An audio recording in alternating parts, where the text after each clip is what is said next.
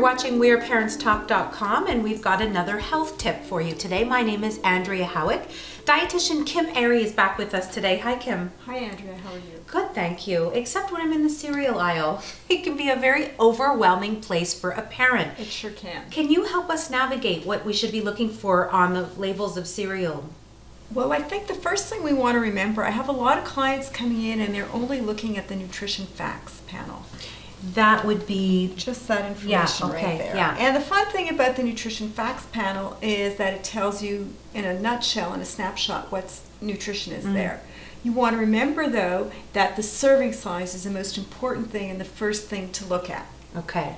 Because it's going to be different for every cereal. Interesting. So it's something like a half a cup or Could be a cup, could be half a cup. Some cereals even give the nutrient value with the milk added, some don't. Mhm. So you want to check that out as well. Good information. The next thing you want to remember to look for on the nutrient facts panel, and I think it's the thing that confuses most people, is the sugars.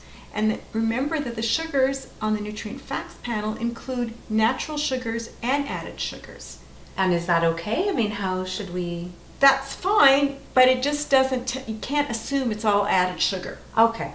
So Good what you have to do then is go back and read the ingredient list to find out how much sugar has been added to your product. Oh, you mean that list of chemicals with weird names I can't pronounce? Yeah, and you want to remember that on that list, the ingredient that's the first one on the list, that's what's going to be the most in your product, and the one that's the last on the list is the least. Mm-hmm.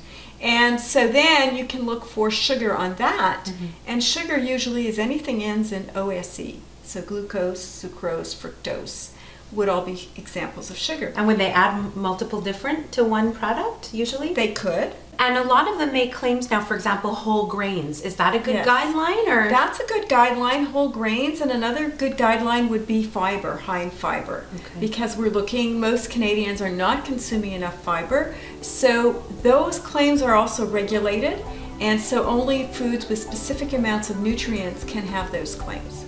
Kim Arrey, thank you for joining us. Thank you. Talking about reading labels in the cereal aisle, another health tip on WhereParentsTalk.com.